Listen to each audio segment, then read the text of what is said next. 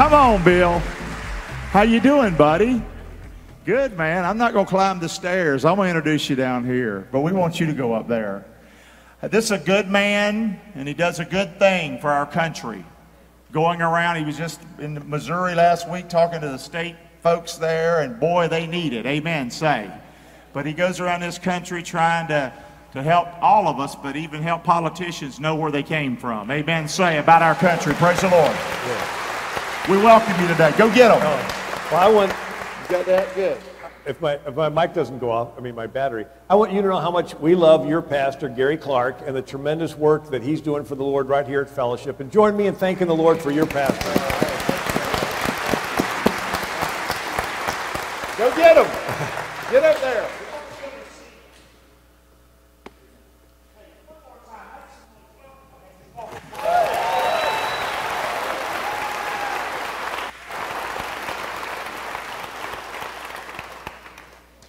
Well, it's an honor to be with you. And how many of you were in the first service? There were some that stayed over. Well, I talked in the first service about George Washington and how he trusted in the Lord in the different battles and so forth.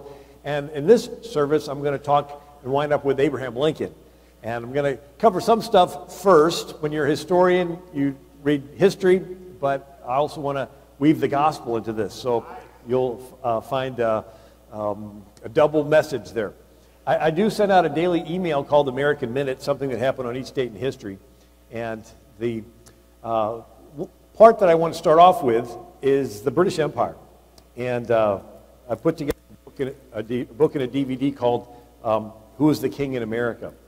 And I point out how the most common form of government in all the world history is what? Monarchy, kings. And so in the book, I actually researched it. So you go back to the beginning of the invention of writing, Sumerian cuneiform on clay tablets in the Mesopotamian Valley. Uh, that's uh, called um, Iraq today. And the uh, writing was invented. Take a stick, poke it in clay. That was the beginning of writing. And from the beginning of writing, around 3300 BC, to today, around 2080, that's around five or 6,000 years of records, which is not that long. I mean, 6,000 years is only 60 people living 100 years each back to back. How many of you have met someone who's lived 100 years or close to it? Right? 60 people living 100 years back to back, and you're back to the beginning of recorded human history. It's not that long ago. And so now that we have records, what do they show? They show the most common form of government is a king. Nimrod, Tower of Babel, uh, Egyptian pharaohs, Cyrus of Persia, Alexander the Great, Julius, and as the centuries go on, the kingdoms get bigger, right? Uh, Augustus Caesar, Attila the Hun, Genghis Khan, they keep getting bigger. Why? Because with military advancements, you can kill more people. Iron's stronger than bronze, and gunpowder and phalanxes and composite bows and so forth. But it's that same fallen nature of Cain killing Abel. But instead of using a stone, you use a rifle, right? But it's that same. And so what happens is, as the centuries go on, the kingdoms get bigger. Ultimately, there's a global goal in mind. And that's left for the book of Revelation, right? The Antichrist and all that. But we can see where the trend is. And so, uh, the first nation that ruled itself without a king in these 6,000 years of records is who? Around 1400 BC, this nation came out of Egypt. And for 400 years, they did not have a king. Israel! Right? It's the book of Judges in the Bible. It's sort of this confusing chapter where they're, you know, raising up the leaders and so forth and backsliding and then they get oppressed and they... Re- That's the first instance in recorded history of a nation with millions of people and no king. And you thought the book of Judges was just this confused. No, it's really an anomaly. And so um, in Israel, America's founders, especially the New England pastors, looked back to ancient Israel. And so Connecticut, New Hampshire, Rhode Island, Massachusetts were founded by pastors and their churches, right? And so you had uh, the Puritans were, you know, pilgrims were persecuted in Europe. They came to, you know, settle these colonies. And uh, one of the interesting things was um, when they translated the Bible, um, Muslims were invading uh, Greece. The Greek scholars fled to Italy. Uh, they, they saw words in Greek that they hadn't seen before. One was ecclesia.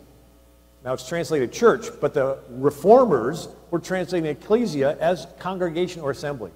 Why? Because that's what the ancient Israelites had a congregation or assembly. And the idea was that it's the people who are the church. Instead, not, not a, a hierarchical system, right? But it's the people that are the body of the church. And so this is what the New England pastors taught their congregations. And they look back to ancient Israel as the model without a king for 400 years. And so Israel was the first nation with private land ownership. Because wherever there's a king, you never really own the land. It's always conditional, you staying on the nice side of the king. Um, Israel was the first nation where men were armed. Every man had a sword upon their thigh, and they were ready at a moment's notice to defend their family and their community. Israel was the first nation that could read. Only 1% of Egypt could read. Reading and writing was the, the uh, secret knowledge of the, the scribes. Uh, it was the deep state, right? Reading and writing was the deep state communication. In, in ancient Israel, everyone could read. It was a citizen dependent model. And so if you think of it as a, a, a line, total government on one side, no government on the other. Total government, you have a king, no government is anarchy, unless each person is taught the law. And uh, it's like everybody downloads a behavioral app on their iPhone. Instead of a GPS telling you where to turn, tells you how to act. Then the Levites are the computer geeks that help you to download the app, the law. But you have it in your heart. But why would you follow it? Israel had the key ingredient. There's a God who's watching everyone. He wants you to be fair. He's going to hold you accountable in the future. So you're about to steal. There's no king and army around, but you hesitate stealing. Why? Because you remember there's a God watching you He wants you to be fair. He's going to hold you accountable. And so when we say it's one nation under God, it's more than uh, just a nice acknowledgement. That's the motivating power that makes the whole thing work. If you get rid of God, all you got is a bunch of rules. Yes. Anyway, so I'll, I'll get, jump in. So we break away from the King of England. We take the power of a king, we separate it into three branches, separate it federal to state level, and we tie up this federal Frankenstein with 10 handcuffs, the first 10 amendments. All the Constitution is, is a bunch of hurdles to prevent the rubber band from snapping back into the hands of a king. Right? You want to take that power of a king and separate it, right? Because when it gets back all together again, you're going to have this king dominating everybody. And um, so who's the king in America? Our founders set it up. The magistrate is not the king. The people are the king. You're the king. And Lincoln said, the people of these United States are the rightful masters of both Congresses and courts. So you're the master of the Supreme Court, right? Um, and um, uh, Andrew Jackson, Jacksonville, Florida is named after him. He says, The people are the government, the sovereign power. And so kings have subjects who are subjected to their will. You do what the king says or he kills you. America, we have citizens. The word citizen is Greek and it means co ruler, co king.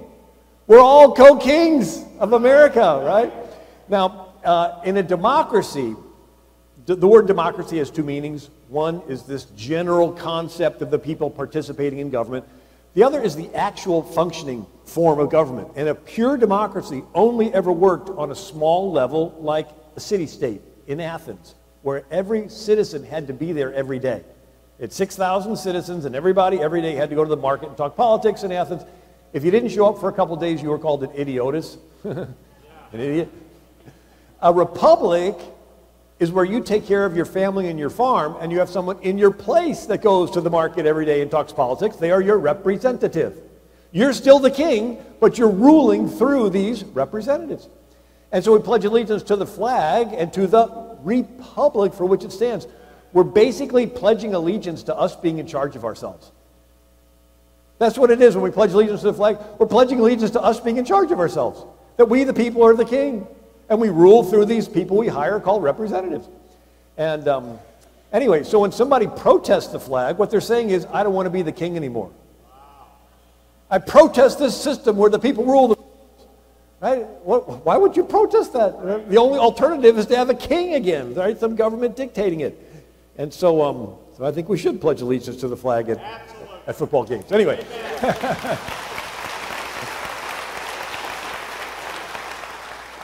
John Jay was the first Chief Justice. He says Americans are the first people whom heaven has favored with an opportunity of choosing the forms of government under which they should live.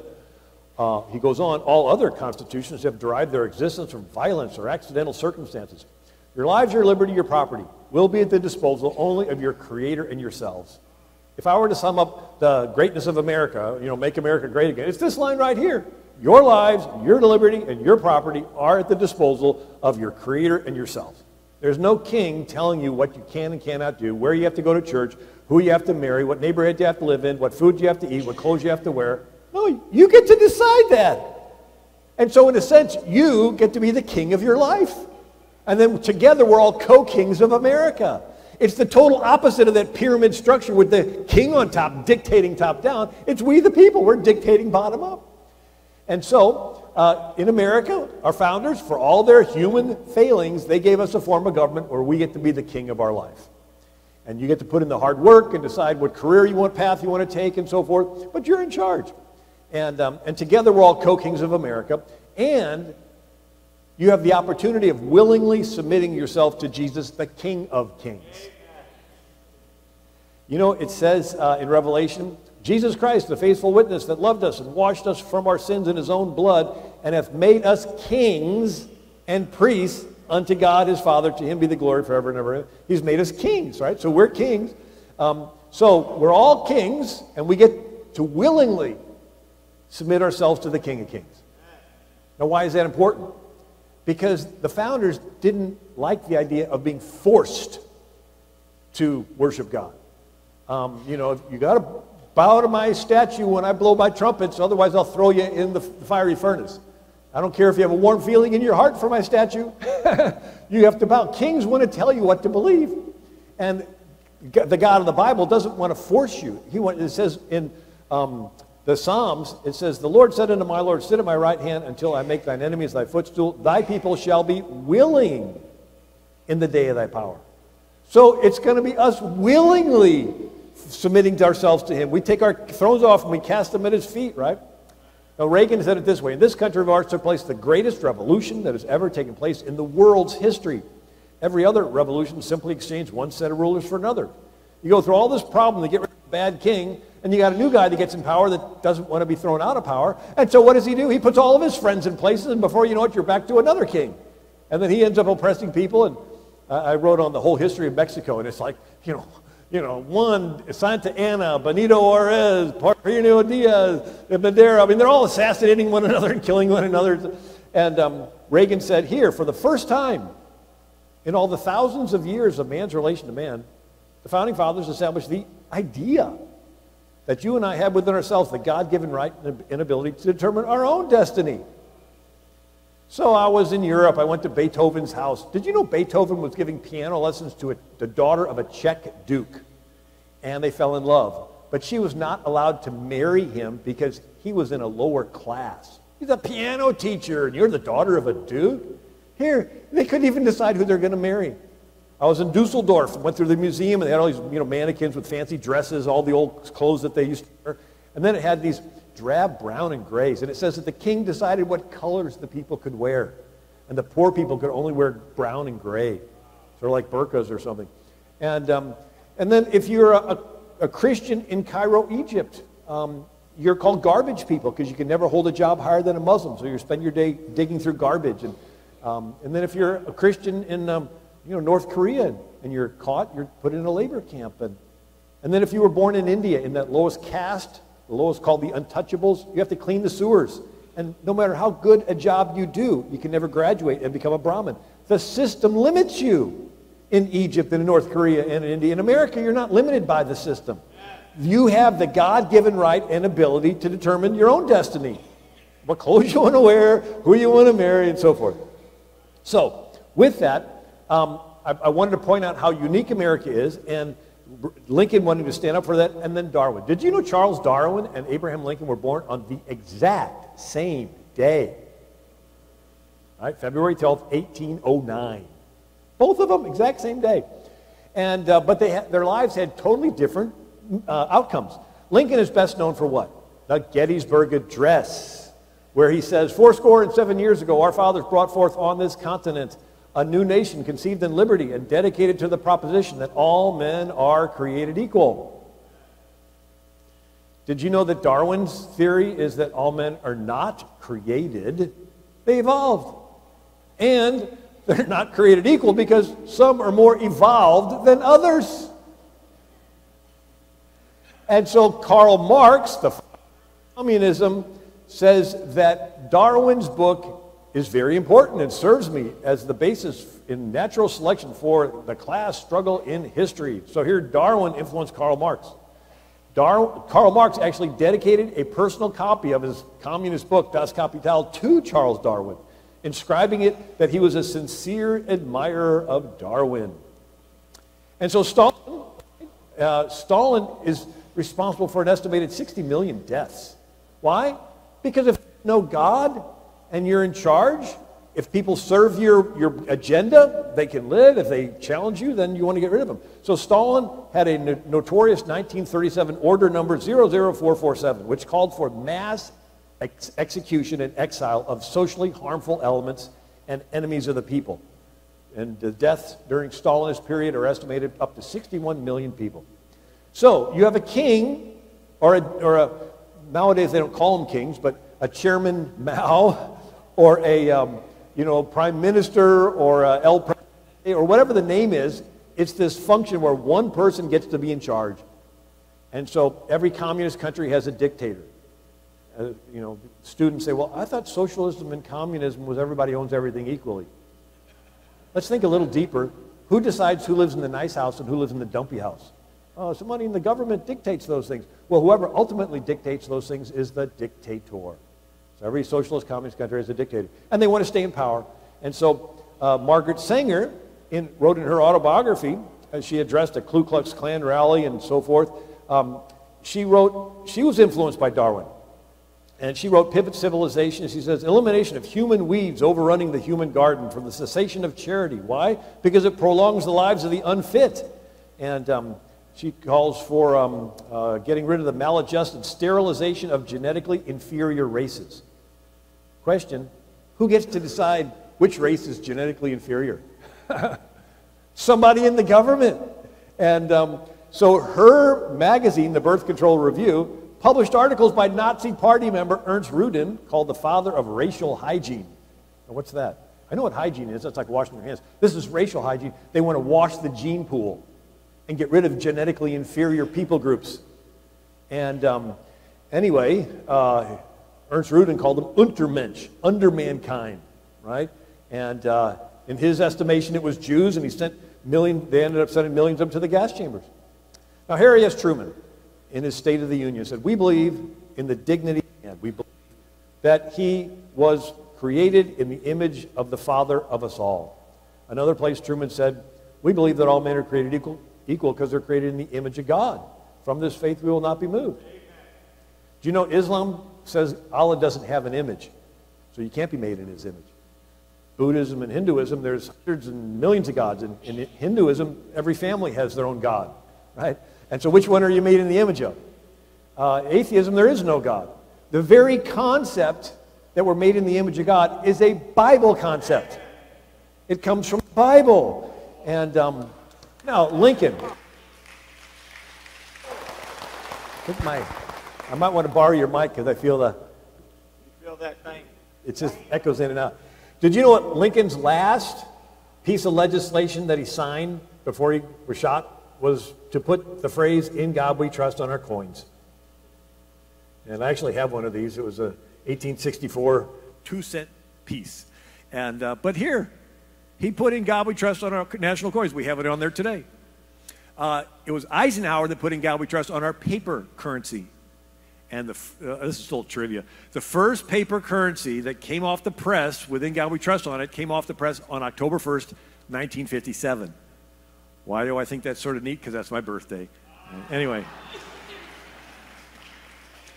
But here's Lincoln putting God. Now, Stalin said, uh, the, his, the book on Stalin says, Landmarks in Life of Stalin says, at a very early age, while a, still a pupil in the ecclesiastical school, Comrade Stalin developed a critical mind and revolutionary sentiments. He began to read Darwin and became an atheist. So, Darwin's theory creates atheists, it undermines the concept of God. Lincoln, during the Civil War, uh, proclaimed a day of fasting. He says, We have forgotten God. We have forgotten the gracious hand which preserved us in peace and multiplied and enriched and strengthened us. And we have vainly imagined in the deceitfulness of our hearts that all these blessings were produced by some superior wisdom and virtue of our own. Intoxicated with unbroken success, we have become too proud to pray to the God that made us. He goes on, it behooves us then to humble ourselves before the offended power, to confess our national sins, and to pray for clemency and forgiveness. Yes. Now, one of the books that I put together, it's uh, called Miracles in American History, but I highlight these days of fasting and prayer that the presidents called and what happened afterwards. And over and over again, they always talk about confessing our national sins. And it's like, why is that important? Why can't we just say, God bless us? Uh, they had an understanding. And uh, now, Lincoln, his day of fasting was to be observed and was observed on April 30th, 1863, National Day of Fasting. Question What happened two days later? The South shoots one of its own best generals, Stonewall Jackson. Right? He's after the Battle of Chancellorsville. He's outnumbered like two to three to one, and he's winning. And the evening of the first day of the battle, he's surveying the battlefield. He comes back at twilight, and his own men yell, Stop, who goes there? And before he can answer, they let a volley of shots off. They shoot him twice in the arm, once in the hand, kill his horse, kill about 15 people. And then in the, in the dark twilight, they put him on a stretcher and they stumble and fall and mangles his arm and has to get amputated. And he dies. And just about every Civil War historian will admit that he was such a great general that if he had been at the Battle of Gettysburg two months later, the South probably would have won. Now, it's hard to reconcile because he was a godly man. He taught Sunday school classes and he was even breaking the law because in his state they had a law making it a crime to teach slaves to read. And he was teaching them to read so they could read the Bible. And he was a godly man, but yet God had a bigger plan for the country, and the bigger plan was to get rid of slavery. And uh, but it was just so happened. It was two days after this National Day of Fasting and Prayer. Now, Lincoln, in his inaugural address, how many of you have been to Washington, D.C., the Lincoln Memorial? And uh, he's sitting in the chair, and if you look over to the right of his chair, the whole wall is his second inaugural address. Both sides read the same Bible, pray to the same God, the prayers of both could not be answered, and so forth. Uh, but in there, he says this If we shall suppose that American slavery is one of those offenses which God, in the, which in the providence of God, he now wills to remove, and that he gives this terrible war as the woe due to those whom the offense came.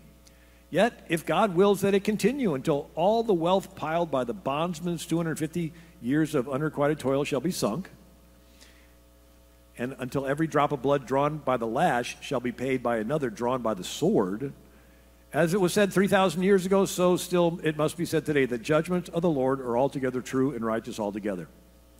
Lincoln had the audacity to connect national sin with national judgment. Hmm. You think anybody has the audacity to make that connection today? Well, um, you know, a way of explaining how, when we say God bless us and why they put in there confess our sins. Have you ever played with magnets? And if you stick them together, right, they stick. But if you turn one of them, then what? They repel. And so if you think of it this way, you got two magnets. One is God and the other's you. And uh, the God magnet has two sides to it. One side says, I want to bless you, and the other side says, judgment, right? Blessings, cursings, right? And the you magnet has two sides to it. One side says, repent and believe, and the other side says, doubt and sin. So if you have your repent and believe side facing God's I want to bless you side, the magnets stick together. And so all through the Bible it says repent and believe, right? And, uh, and so it, it sticks. And there's the blessing of salvation, the blessing of God hearing our prayers. But if we flip and we have doubt and sin, the magnets just won't touch. Remember, Jesus went to his hometown in Nazareth and he could do few miracles there because of their unbelief? He was ready to do them, but they're, they're, they, he couldn't make the, the electrical connection. He was, you know, and God cannot bless sin. Remember the children of Israel coming into the promised land? And King Balak gets the prophet Balaam to stand on a hill and says, Curse him.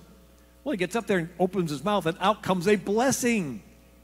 The king says, Let's try this again. There's another altar, kills some animals. Now curse him. He opens his mouth, and out comes a blessing. Happens a third time. And this king Balak is like pulling out his hair. And Balaam says, You cannot curse what God has blessed. It's like, Oh, I like that. I like that. But then a couple chapters later, you see King Balak and the Moabites sending young Moabite women into the Israeli camp to lure the young men to their sexually immoral stuff they were doing. And then the Israelites got defeated in battle. And um, God was furious at Balaam for letting them in on this secret. That if they sin, God cannot come to their rescue, God cannot bless them. And then when Israel repented, and there's this young, you know, guy, uh, you know, Phineas or whatever, and he like throws a spear through the one guy, and it goes through the the prostitute or whatever, and and, and uh, anyway, they repent. And Moses and all the elders are on their face before the temple, and they repent. And then they win and they, they defeat the Moabites or whoever they were. And then it lists all the people that were killed. King Balak got killed, and Balaam got killed. But this is so important because even in the book of Revelation, twice it says to this one church, repent, uh, you know, but because you're following the sins of Balaam. And so, in other words, we have to repent before we can ask, and that's even in the Our Father. Our Father, for art in heaven, hallowed be the name of the kingdom come. Forgive us our trespasses as we forgive those who trespass against us. So if you're refusing to forgive those who trespass against you, God can't forgive you. It's, it's like you're, and so when you say, okay, I forgive him, the magnet flips around in your heart. The other person doesn't even know you have a problem with them. It's your heart and God's heart and the polarity of your, of your magnet.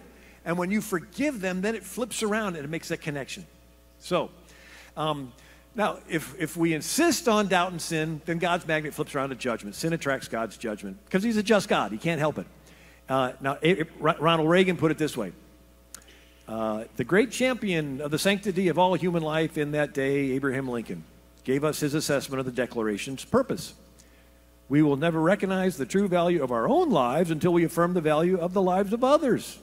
However low and it flickers or fiercely it burns, it is still a divine flame which no man dare presume to put out, be his motives ever so humane or enlightened.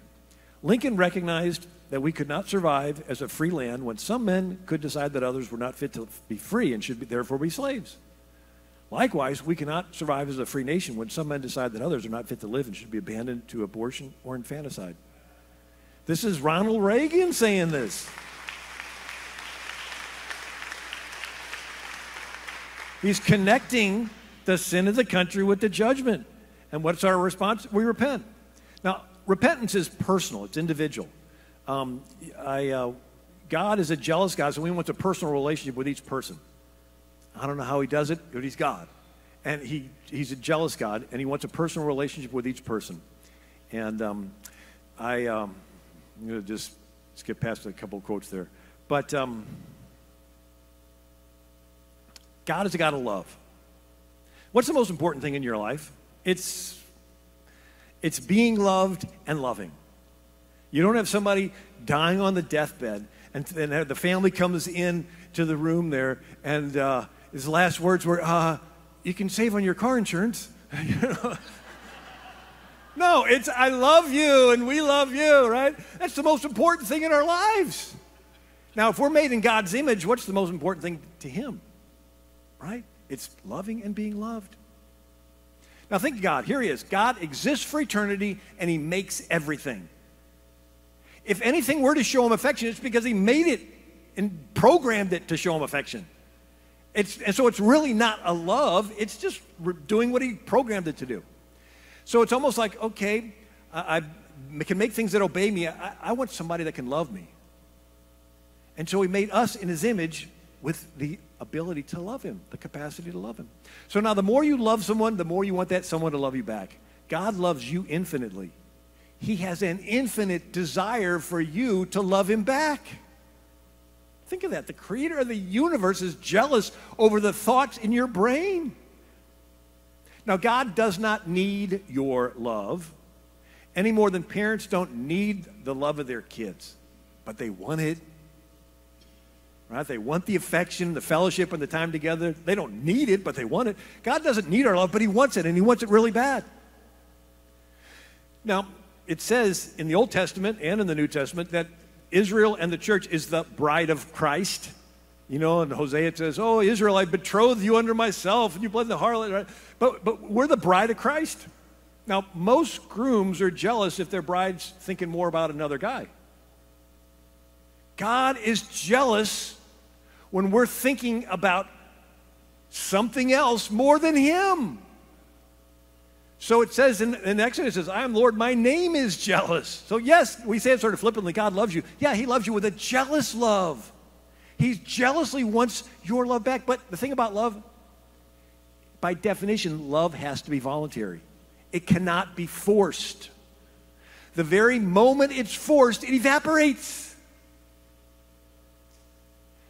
And so here's God. He makes everything, everything obeys him, but he wants to be loved, so he has to make creatures that can love him, but he can't force them. Because the moment he would force them, it wouldn't be love anymore. It'd just be like everything else he did that just obeys him, but he wants somebody to love him. It's Sort of like if a husband twists his wife's arm and says, Tell me you love me. No matter what she says, she doesn't love him. But if he woos her and courts her and defends her and protects her and rescues her and provides for her and takes her to dinner and gives her flour and chocolates, and out of the abundance of her heart it bubbles up, I love you, then it means something. That's what God's after. He's not after obey me or I chop your head off. if he wanted us to obey him, he could have made us to obey him. He, he, he can make things that obey him real good. He wants something that can love him. And the love has to be voluntary because if he forced it, it would evaporate. So here we are. Here we are, people that he made. He wants us to love him really bad, but he can't force it. And uh, those of you that were in the first service, uh, forgive me if I share, but it's, it's such a, to me, it's a real thing, is, is the plan of how we come to the Lord. So he wants us to come to him, he, he wants us to embrace him. And it has to be voluntary. And, uh, but our sins keep us away. Um, have you ever sinned against anybody? You sort of want to avoid the person you've sinned against. You want to sort of stay away from them. Right? So we go to the Bible, Adam and Eve sinned against God and they hid. So God still wanted to be around them, but when they hid, they wanted to get away from him. And so when you sin against somebody, like say you're talking about somebody behind their back, you're making fun of them, joking about them, and you look up and there they are walking through the door in your direction. Question, are you drawn to want to go over to them or like, oh great, there they are, I was just talking about. I think I'm going to go out the back. Your own conscience does not want you to be around the person you sinned against. It's the magnets flipped the wrong way. God wants to be around you, but you want to sort of get away. So it's not so much that God sends people to hell, it's once people sin against God, their own conscience won't let them come into his presence. They want to avoid him, like the magnets try to push him, and they're just not going to. So Adam and Eve sinned, and they said, Man, we did, it, we blew it. We have to do something to make ourselves acceptable to God again. They put on fig leaves. That was the beginning of false religions. Man coming up with man's idea how to make man acceptable to God. And did Adam and Eve's fig leaves make him acceptable to God? No. And this little line, God made Adam and Eve coats of skins. We read it really fast, but if you think of it, how do you make a coat of skin? Kill an animal. So do you think God went to the other side of the garden, killed an animal, and brought Adam and Eve some nice tailored outfits? Or maybe did he kill it right in front of them? And they watched the first death ever. Right? So creation just happened a chapter before, so this is the first thing ever to die, and Adam and Eve are watching this innocent animal go through these pangs of dying, and they're just shocked, and they're thinking to themselves, We're the ones that sinned, but this innocent animal is the one that's dying. And God wanted to make it really clear to them that this animal was dying in their place, that right in front of them, He strips the skin off the animal and He puts it on their naked bodies. Maybe it still had some blood on it, right? They were covered in the blood. So, for the rest of their lives, Adam and Eve are wearing the skin of that animal that they watched die in their place. And whenever God looks at Adam and Eve, he sees them clothed with the skin of the animal, the lamb slain from the foundations of the world. Right? We have the picture in the Bible of um, Jacob going before his blind dad, Isaac, and uh, wanting to get a blessing. And the mom, Rebecca, said, Tell you what, let's take a goat and let's, or, you know, a lamb, and let's put the skin on you and put your brother's clothes. And so, so um, Jacob went before Isaac with, with his brother's righteousness, right? And so, uh, uh, so we come before the Lord like Adam and Eve, wearing the righteousness of Jesus. Anyway, Adam and Eve are covered with the skin. Adam and Eve tell Cain and Abel, this is how you worship God. Cain decides he wants to worship God, but he's going to try to do the, the fig leaf thing. He starts the church of the fruits and the nuts.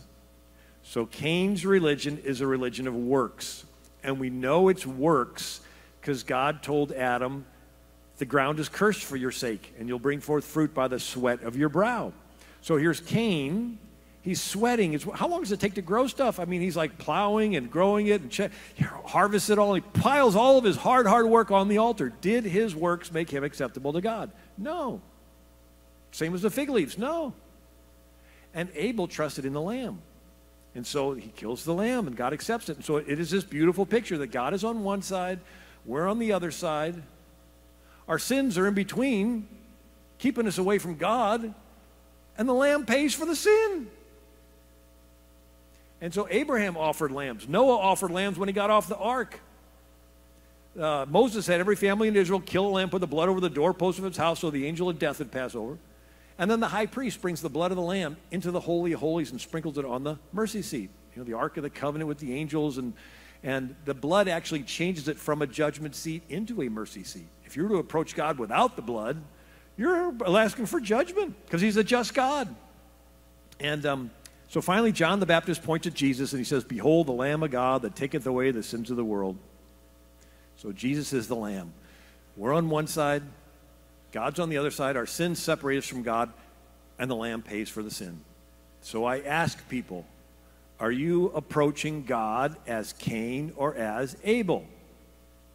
If you are still hoping you're good enough to go to heaven, you are approaching God as Cain.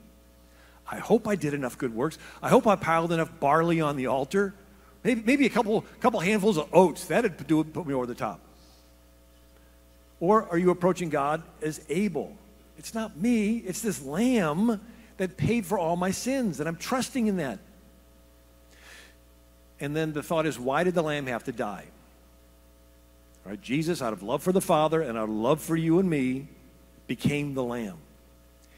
And um, He's sweating drops of blood. Why? You know, I was reading the book of Revelation, and again, those that heard me say this, bear with me.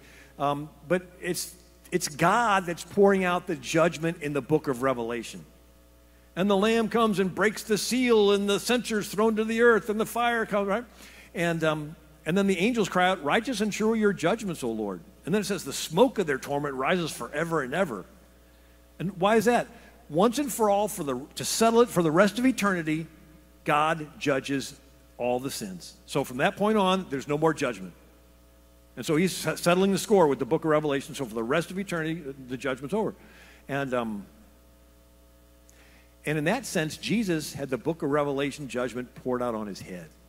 Jesus took the judgment for every sin that everybody would ever do upon himself on the cross.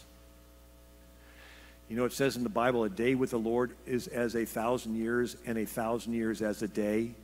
Jesus experienced that judgment as if it was a thousand years.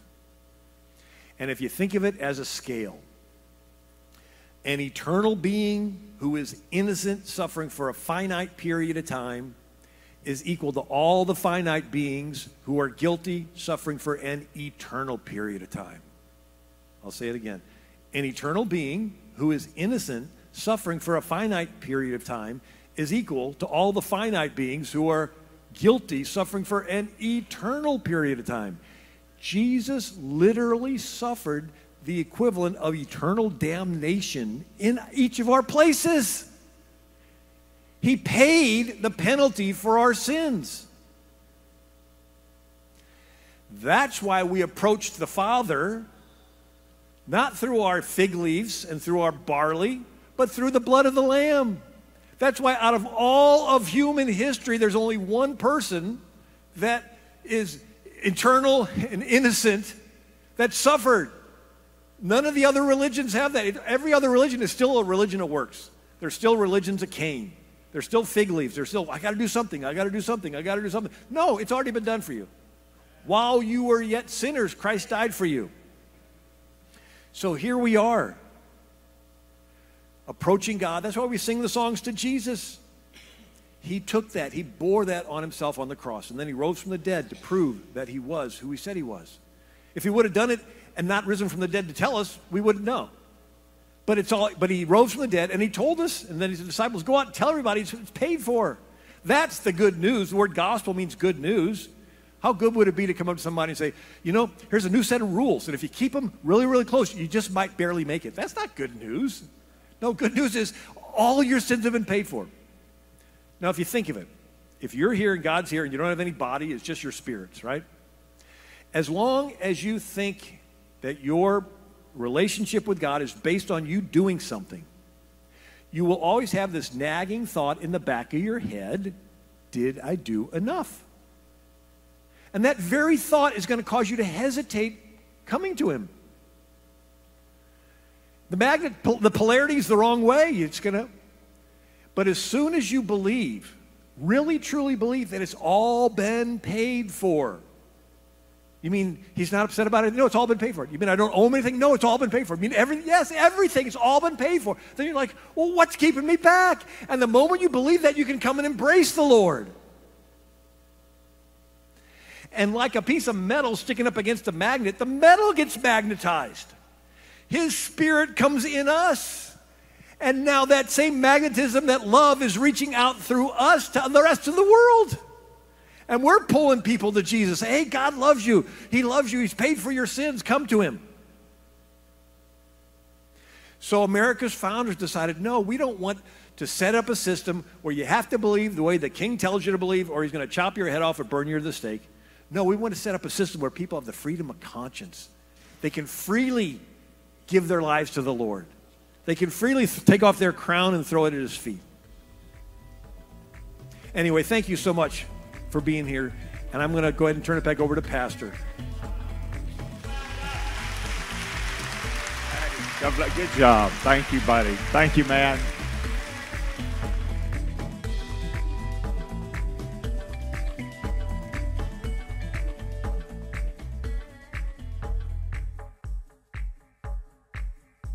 Fellowship meets every Sunday morning on our beautiful 15 and a half acre campus in the bullseye of Rotonda, West Florida, at 140 Rotonda Boulevard West.